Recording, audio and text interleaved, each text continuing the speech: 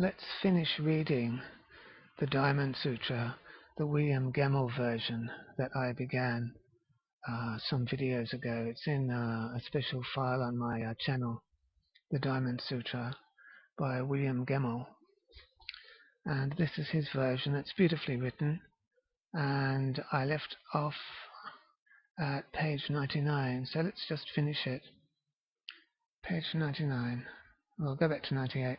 Subhuti thereupon inquired of the Lord Buddha, saying, Honored of the worlds, in what respect are enlightened disciples unaffected by considerations of reward or merit? That is, they're not attached, are they? They're not attached. And they're not egoic and they're not and they're non-dualist. The Lord Buddha replied, saying, Enlightened disciples do not aspire in a spirit of covetousness to rewards commensurate with their merit. Therefore, I declare that they are entirely unaffected by considerations of reward or merit. So they're not attached, are they? Oops, where are we? Oops, it continues. The Lord Buddha addressed Subhuti, saying, If a disciple asserts that the Lord Buddha comes or goes, sits or reclines, obviously he has not understood the meaning of my discourse. And why? Because the idea Buddha implies oops, implies neither coming from anywhere nor going to anywhere, and hence the synonym Buddha. Neither coming from anywhere nor going to anywhere. That's non-dual, really, isn't it? It's like saying that something is hot and cold at the same time. Hmm. The Lord Buddha addressed Subhuti, saying, If a good disciple, whether man or woman, were to take infinite worlds and reduce them to minute particles of dust, what think you, would the aggregate of all those particles of dust be great? Subhuti replied, saying, Honored of the worlds, the aggregate of all those particles of dust would be exceedingly great. And why? Because if all those were in reality minute particles of dust, the Lord Buddha would not have declared them to be minute particles of dust. And why?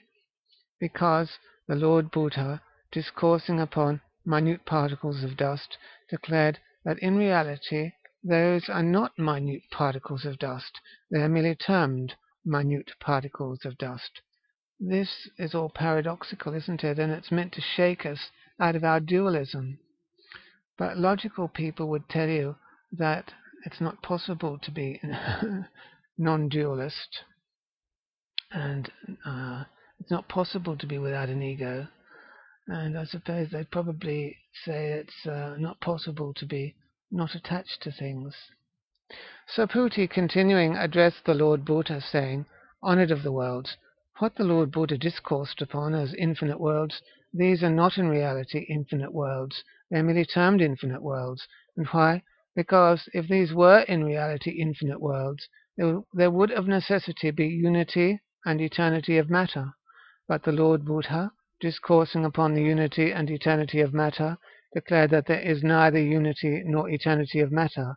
Therefore, it is merely termed unity and eternity of matter.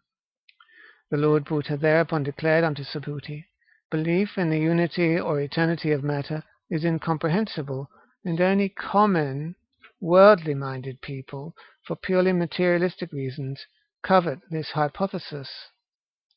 The Lord Buddha addressed Subhuti, saying, If a disciple affirmed that the Lord Buddha enunciated a belief that the mind can comprehend the idea of an entity, a being, a living being, or a personality, what think you, Subhuti? Would that disciple be interpreting aright the meaning of my discourse? Subhuti replied, saying, Honored of the worlds, that disciple would not be interpreting aright the meaning of the Lord Buddha's discourse. And why?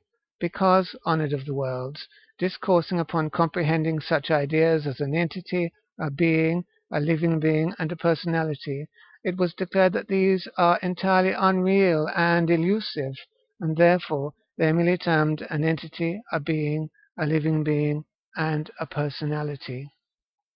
The Lord, have we have you really got an ego? Have I got an ego? The Lord Buddha thereafter addressed Subhuti, saying, those who aspire to the attainment of supreme spiritual wisdom ought thus to know, believe in, My screen just went black. Those who aspire to the attainment of supreme spiritual wisdom ought thus to know, believe in, and interpret phenomena. They ought to eliminate from their minds every tangible evidence of every visible object. Subhuti, concerning visible objects, the Lord Buddha declared that these are not really visible objects, they are merely termed visible objects.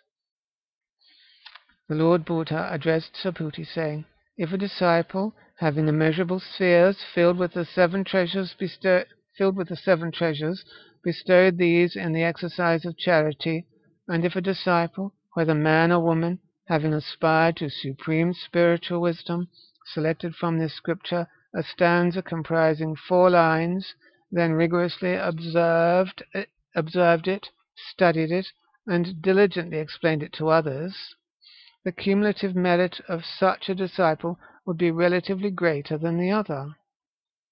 In what attitude of mind should it be diligently explained to others? I'm trying to explain it to you and to myself at the same time. In what attitude of mind should it be diligently explained to others?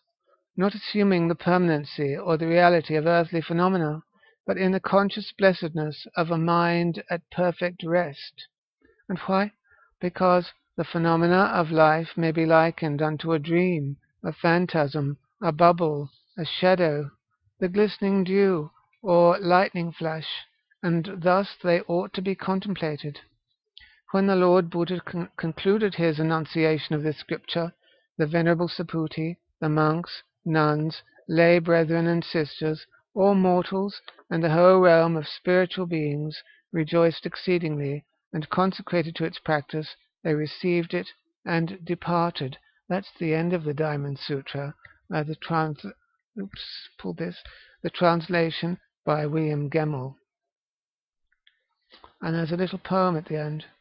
As when men, travelling, feel a glorious perfume sweet, pervading all the countryside and gladdening them, infer at once, surely 'tis giant forest trees are flowering now. So, conscious of this perfume, sweet of righteousness, that now pervades the earth and heavens, they may infer, a Buddha, infinitely great, must once have lived. And when I finish the Diamond Sutra, I always start again from the beginning. And I'll just read a little to get myself going into the next for my next reading. The Diamond Sutra by William Gemmell. Thus have I heard concerning our Lord Buddha. Upon a memorable occasion the Lord Buddha sojourned in the kingdom of Shravasti, lodging in the grove of Jeta, a park within the imperial domain, which Jeta, the heir apparent, bestowed upon Sudatta, a benevolent minister of state, renowned for his charities and benefactions. With the Lord Buddha there were assembled together twelve hundred and fifty mendicant disciples all of whom had attained to eminent degrees of spiritual wisdom. As it approached the hour for the morning meal, Lord Buddha, honoured of the worlds, attired himself in a mendicant's robe, and bearing an alms bowl in his hands, walked towards the great city of Shravasti, which he entered to beg for food. Within the city he proceeded from door to door, and received such donations as the good people severally bestowed. Concluding this religious exercise, the Lord Buddha returned to the grove of Jeta and partook of the frugal meal received as alms. Thereafter he divested himself of his mendicant's robe, laid aside the venera venerated alms bowl, bathed his sacred feet, and accepted the honoured seat reserved for him by his disciples. Upon that occasion the venerable Subhuti occupied a place in the midst of the assembly.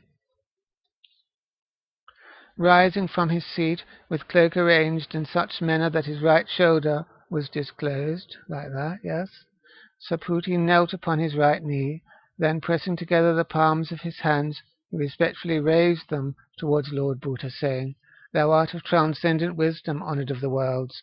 With wonderful solicitude thou dost preserve in the faith and instruct in the law this illustrious assembly of enlightened disciples. Honoured of the worlds, if a good disciple, whether man or woman, seeks to obtain supreme spiritual wisdom, what immutable law shall sustain the mind of that disciple, and bring into subjection every inordinate desire? The Lord Buddha replied to Subhuti, saying, Truly a most excellent theme. As you affirmed, I preserve in the faith and instruct in the law this illustrious assembly of enlightened disciples. Attend diligently unto me, and I shall enunciate a law whereby the mind of a good disciple, whether man or woman, seeking to obtain supreme spiritual wisdom, shall be adequately sustained and enabled to bring into subjection every inordinate desire. Subhuti was gratified and signified glad consent. Thereupon the Lord Buddha, with majesty of person and perfect articulation, proceeded to deliver the text of this scripture, saying, By this wisdom shall enlightened disciples be enabled to bring into subjection every inordinate desire, every species of life, whether hatched in the egg, formed in the womb, evolved from spawn, produced by metamorphosis, with or without form or intelligence, possessing or devoid of natural instinct, from these changeful conditions of being, I command you to seek deliverance in the transcendental concept of nirvana. Thus, that is, nirvana is a transcendental concept. We've transcended dualism, egoity, and attachment, haven't we? Thus, you shall be delivered from an immeasurable, innumerable, and illimitable world of sentient life. But in reality there is no world of sentient life from which to seek deliverance. And why? Because in the minds of enlightened disciples there have ceased to exist such arbitrary concepts of phenomena as an entity, a being, a living being, or a personality. Moreover, this is about non-egoity. Moreover, Subhuti, an enlightened disciple ought to act spontaneously in the exercise of charity, uninfluenced by sensuous phenomena such as sound, odor, taste, touch, or law. Subhuti, it is imperative that an enlightened disciple, in the exercise of charity, should act independently of phenomena. That is, unattached, isn't it? And why? Because, acting without regard to elusive forms of phenomena, he will realize in the exercise of charity a merit inestimable and immeasurable. Subhuti, what think you? Is it possible to estimate the distance comprising the illimitable universe of space? Subhuti replied, saying, Honored of the worlds, it is impossible to estimate the distance comprising the illimitable universe of space. The Lord Buddha thereupon discoursed, saying, It is equally impossible to estimate the merit of an enlightened disciple who discharges the exercise of charity unperturbed by the seductive influences of phenomena. Subhuti, the mind of an enlightened disciple ought thus to be indoctrinated. The Lord Buddha interrogated Subhuti, saying, What think you? Is it possible that by means of his physical body the Lord Buddha may be clearly perceived? Subhuti replied, saying, No, honored of the worlds, it is impossible that by means of his physical body the Lord Buddha may be clearly perceived. And why? Because what the Lord Buddha referred to as a physical body is in reality not merely a physical body. Thereupon the Lord Buddha addressed Subhuti, saying, Every form or quality of phenomena is transient and elusive. When the mind realizes that the phenomena of life are not real phenomena, the Lord Buddha may then be clearly perceived. I think I'll stop there now, having finished uh, the third part and having begun the sutra ever again. Very nice sutra, very beautifully written by William Gemmell. That's part three of my readings uh, and the conclusion of the Diamond Sutra by William Gemmell. See ya.